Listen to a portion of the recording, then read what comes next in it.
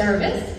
Uh, the Congress of the United States officially declared that the Schwenkfelder Day of Remembrance is the longest observed Thanksgiving in the history of the country. It's a time where we gather to celebrate the immigrants who came to this country looking for religious freedom and joyfully received a welcome right in Philadelphia where they were not only safety, but food. And so, yes, following that service today, there will be a time of fellowship and bread and apple butter. Reverend Nick Pence is preaching, uh, joining us from Palm Schwenkfelder.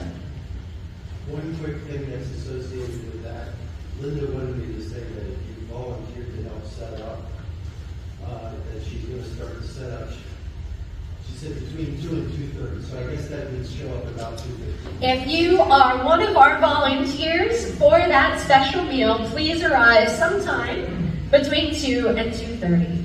So that's this afternoon if you're looking for something historic and fun to do.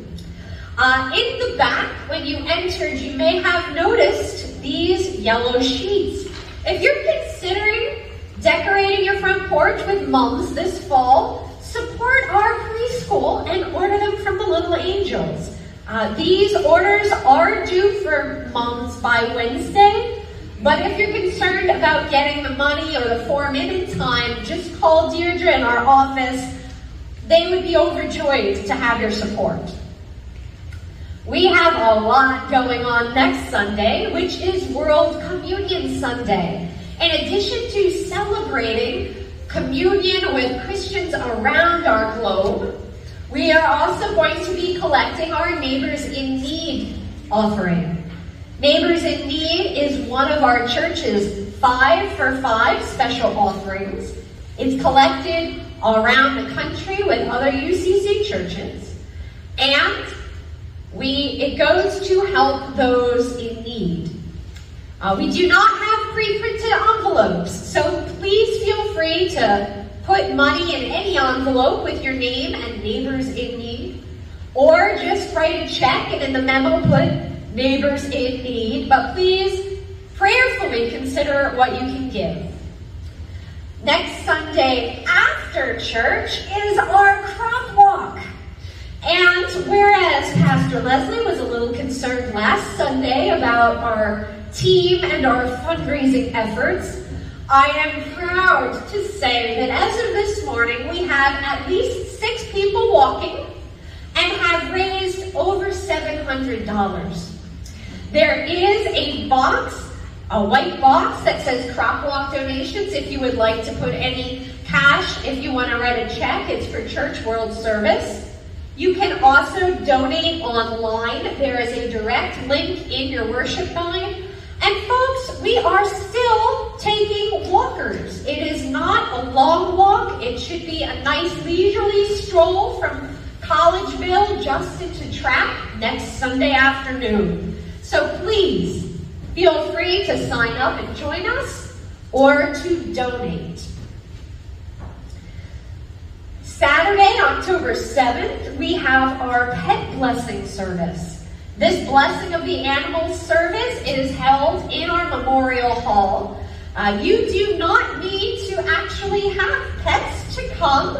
I know that some folks show up just because they love seeing the puppy parade, and that is fine. It is an informal time to gather, celebrate all of God's creatures, and particularly those ones who have made a home in our hearts.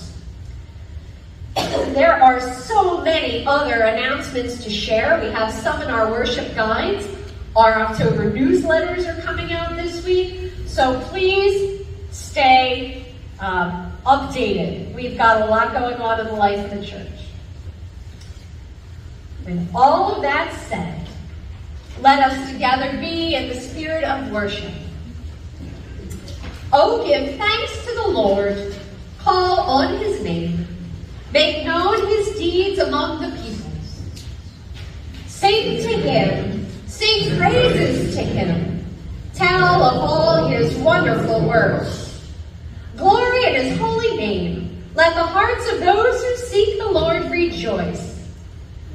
Seek the Lord and his strength.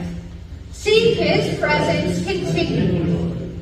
Remember the wonderful works he has done, his miracles, and the judgments he has uttered.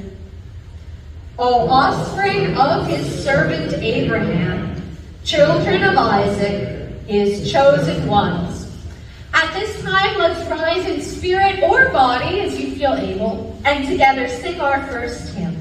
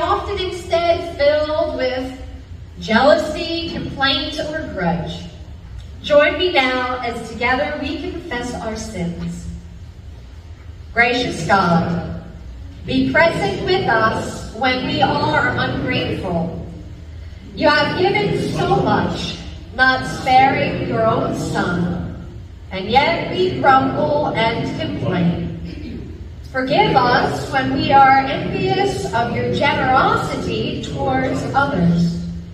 Help us to be content with the goodness you give according to your will. Pardon our own selfishness and instill in us generous, sharing spirits. Amen. Friends, the good news of Jesus Christ is that there is nothing, not heights, depths, rulers, things present, nor things to come that can keep us from the love of Christ. In the name of Christ Jesus, our sins are forgiven.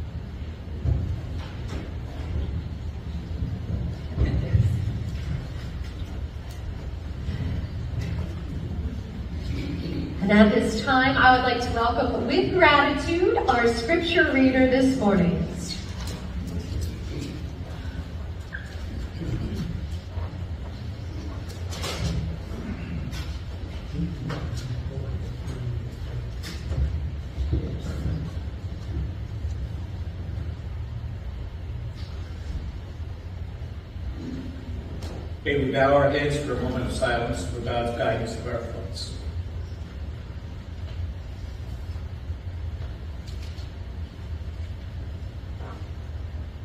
The first reading is from Exodus, chapter 16, verses 2 to 15. The whole congregation of the Israelites complained against Moses and Aaron in the wilderness. The Israelites said to them, if only we had died by the hand of the Lord in the land of Egypt, where we sat by the flesh pots ate our fill of bread. For you have brought us out into this wilderness to kill this whole assembly with hunger.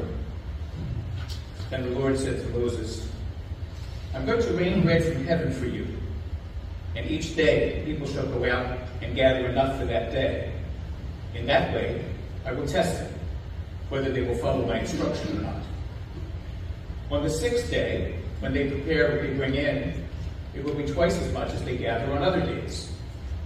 So Moses and Aaron said to all the Israelites, In the evening you shall know that it was the Lord who brought you out of the land of Egypt.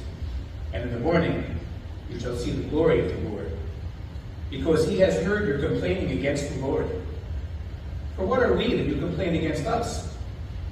And Moses said, When the Lord gives you meat to eat in the evening, and your fill of bread in the morning, because the Lord has heard the complaining that you utter against him. What are we? Your complaining is not against us, but against the Lord.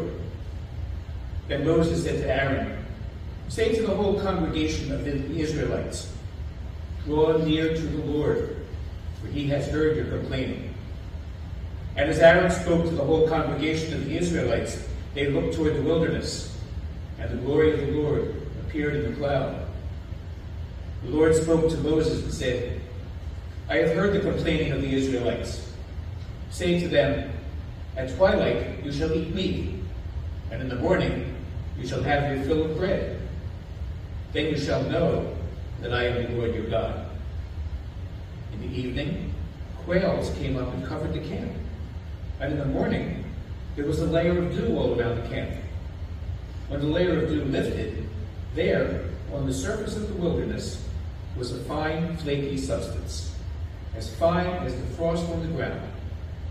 When the Israelites saw it, they said to one another, What is it? But they did not know what it was. Moses said to them, It is the bread that the Lord has given you to eat. Second reading is from Matthew chapter 20, verses 1 to 16. For the kingdom of heaven is like a landowner who went out early in the morning to hire laborers for his vineyard. After agreeing with laborers for the usual daily wage, he sent them into his vineyard. When he went out about nine o'clock, he saw others standing idle in the marketplace. And he said to them, You also go into the vineyard, and I will pay you whatever is right. So they went. When he went out again, about noon, and about three o'clock, he did the same. And about five o'clock, he went out and found others standing around. And he said to them, Why are you standing here idle all day? They said to him, Because no one is hiring us. He said to them, You also go into the vineyard. When evening came, the owner of the vineyard said to his manager, Call the laborers and give them their pay, beginning with the last and then going to the first. When those hired about five o'clock came, each of them received the usual daily wage. And when the first came, they thought they would receive more. But each of them also received the usual daily wage. And when they received it, they grumbled against the landowner, saying, These last worked only one hour, and you have made them equal to us, who have borne the burden of the day and the scorching heat. But he replied to one of them, Friend, I am doing you no wrong. Did you not agree with me for the usual daily wage? Take what belongs to you and go. I choose to give to this last the same as I give to you. Am I not allowed to do what I choose with what belongs to me? Or are you envious because I am generous? So, the last will be first, and the first will be last.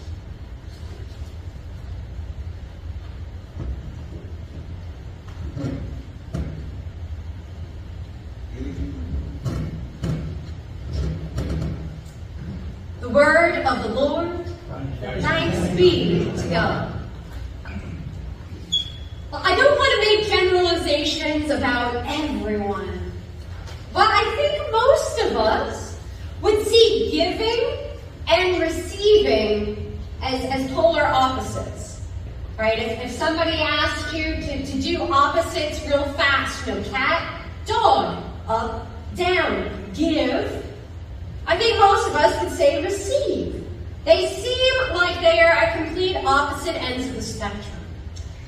And I would also guess that some of us may have slightly different, even biased feelings about givers versus receivers. Right? If we see somebody giving money to a panhandler on the street, we say, oh, what a charitable, kind heart they have. But of the same panhandler who was receiving that gift, we might say, oh, how terrible that they are begging on the streets. I think a lot of us grew up hearing that one of these two things, giving or receiving, was better. How many of you honestly heard growing up the saying, tis better to give than to receive? Anybody? We haven't? Okay, a couple folks have heard that. And I'm sure if you're a long-time churchgoer at some point during the budget season or a stewardship campaign, you saw the word somewhere, God loves a joyful giver. Right? We have this idea that giving and receiving aren't just opposites, but that one is more blessed than the other. I want to challenge that thinking today and suggest that it's all really just one act. That giving and receiving is by definition a singular act. You can't have one without the other. You can't receive unless somebody's giving to you, but you also can't give unless somebody is willing to gracefully accept that gift. Not only that, giving and receiving together create relationship. It is, in a sense, one act of relationship building and generosity. It takes grace to give to someone. But, folks, it takes grace to also receive. Maybe you've noticed this too. We have people in our lives who might be the most faithful, what I would call prayer warriors. Every day, they go down the list of everyone in their workplace, in their family, in their church community who needs prayer, and they lift those people on their hearts to God. But as soon as that same person might need prayer, they're very uncomfortable about asking for it or about receiving it. The same thing sometimes happens with charity, right? If there's a family in our church that's going through hard times, we may feel very comfortable giving to them, making casseroles, donating some money, maybe filling up their gas tank in their car. But the moment we're the one who needs the help, it can be so much more difficult to receive than it is to give. And today's stories, both of them which we heard, are about how to be a good giver, but how to be a terrible receiver. The first story that we heard is from our Hebrew scriptures. Tony read to us from Exodus, and it's the story of when God's people were brought out of Egypt, where they had been slaves. Now, the thing about the Exodus from Egypt is that it was not fast. They didn't just cross the sea and suddenly move into a brand new, wonderful land. Instead, God said, I have a place in mind, but it's way across the desert, and there are already a lot of people living there. It's going to take you probably decades to traverse the desert and then kick out the indigenous people. So, after a little while in the desert, the people they started to complain. They had to leave so fast. They didn't pack provisions, let alone years of provisions, right? They had to go so quickly they didn't even have time to let the bread rise. It's why in Passover, Jewish families have unleavened, the, the flat bread, because they had to leave so quickly. And so, God's people found themselves out in the desert, wandering around, putting up camp, then tearing down camp, trudging along, putting up camp, tearing down camp. There was no food, there wasn't clean water. They started to complain. they complained, they grumbled against Moses, their leader, and against God. Exodus 16:2 says, The whole congregation of the Israelites complained. They went as far as to say, You know, God, being slaves was terrible and all, but we think we would have preferred that to starving.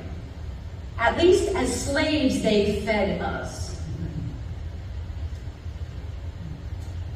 So God gives our ancestors in faith freedom from slavery. And they complain they're hungry. But folks, we worship a good God. So God says, I will send food for you. I'm going to send bread so you can eat. And God does. God once again gives to the people, and their response is, What is this stuff? Exodus 16 15, the people say, What is it? That's the literal translation of manna. What is it? What is this white flaky stuff on the ground? So God gives the people their freedom. And they complain they're hungry. God gives them food.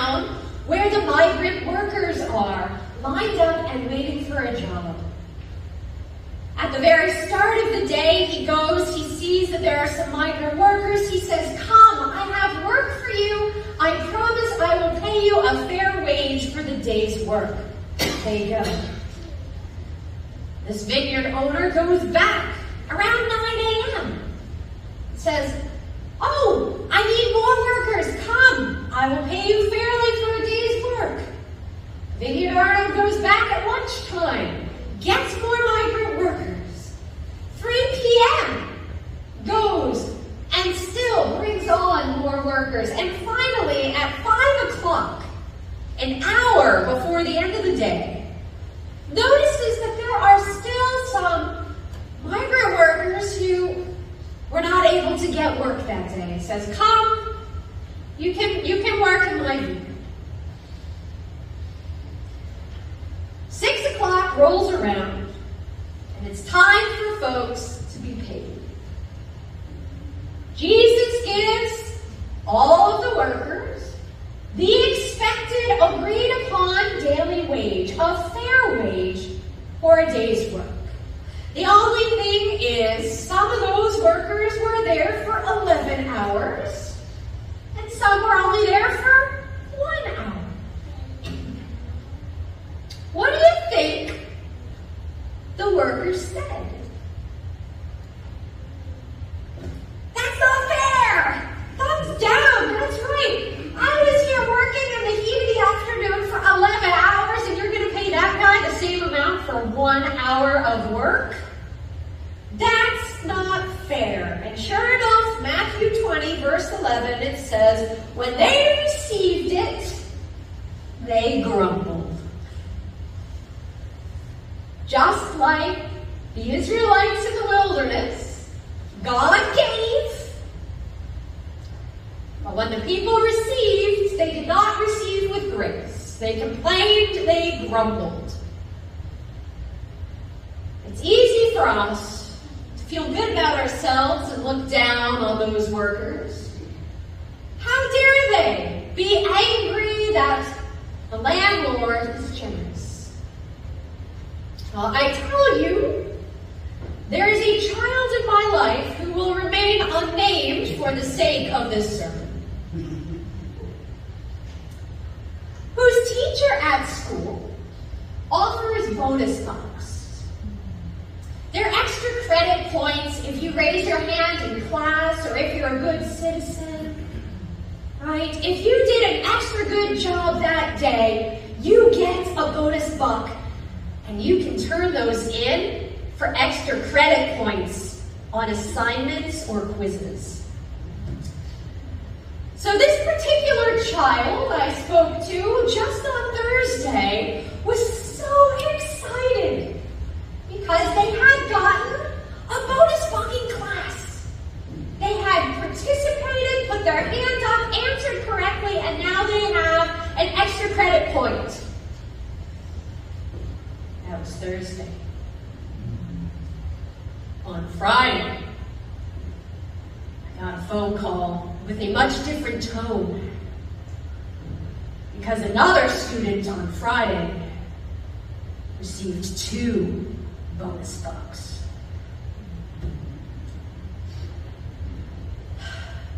And the conversation that was had is yesterday you were so happy. You were so grateful to receive.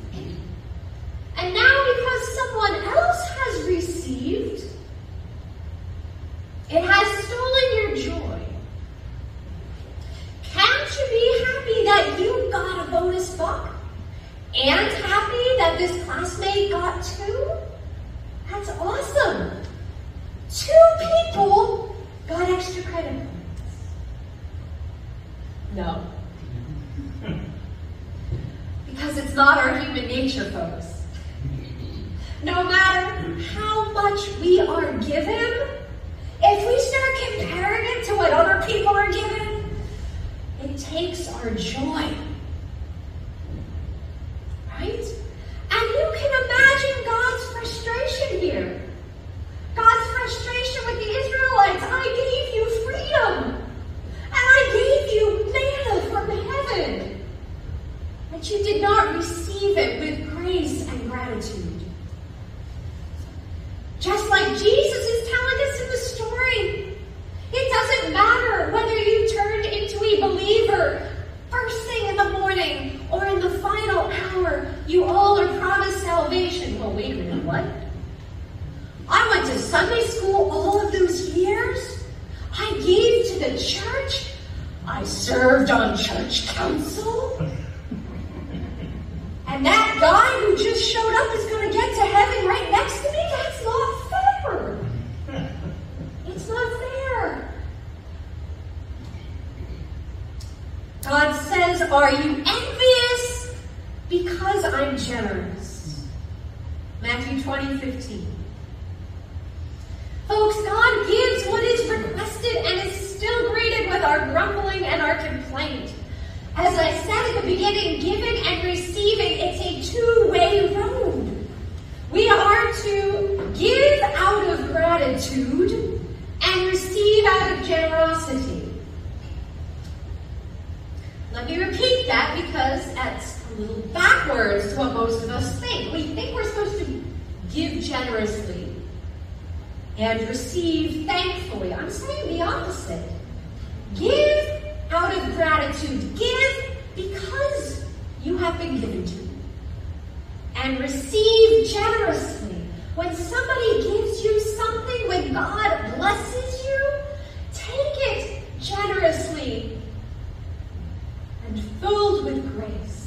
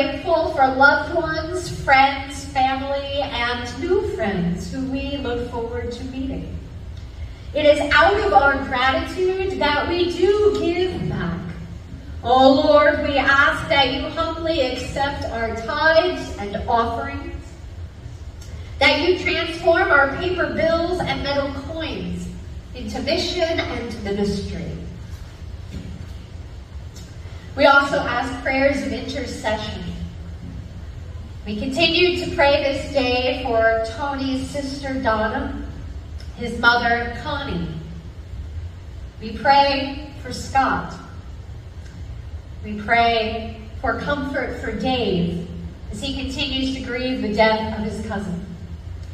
We pray for Rich's brother Todd as he continues on the transplant list. We pray for little four-year-old Ella, who is undergoing cancer treatments. We lift up our shut-ins, Deb, Dottie, Ginny. God, we pray for all who are sick this day, those with allergies, those with COVID, those with chronic pain made worse by the weather. We pray for healing in body no matter what ails us, as well as mind and spirit.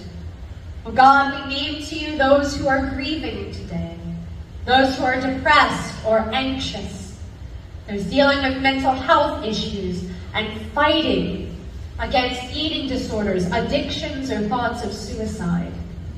Gracious God, make us whole. We pray for our creation and our climate. We ask that God be with those who have once again found themselves in the path of disaster. We continue to pray for the victims of the earthquake in Morocco and for the over 11,000 lives lost in Libya to flooding. We pray for peace, and as we prepare for World Communion next Sunday, we Pray for peace around the globe. Oh Lord, hear our prayers. Are there other prayer requests or joys to share with God? Yes. For those who are homeless and also for my friend Douglas who lost his father over. We pray for Douglas whose father died over the weekend. Tony also asks prayers for the homeless. Any others? Yes. Prayers for the hungry. Prayers for the hungry. And joy I got my car back for the second time. And prayers of thanksgiving after having their vehicle broken into twice. Lee and Everett have wheels again. Thank you. I would add prayers for the family of Donna Deeroff, her mother Mimi, her children Patrick and Natalie. As yesterday here in the sanctuary, we laid her father Mike to rest. So we ask comfort in their grief. Any others? Seeing none, let's together say the words that Christ taught us to pray. Our Father, who art in heaven, hallowed be thy name. Thy kingdom come, thy will be done on earth as it is in heaven. Give us this day our daily bread, and forgive us our sins, as we forgive those who sin against us. And lead us not into temptation, but deliver us from evil. For thine is the kingdom, and the power, and the glory forever. Amen. And let us rise in spirit or body as we're able and sing together our final hymn.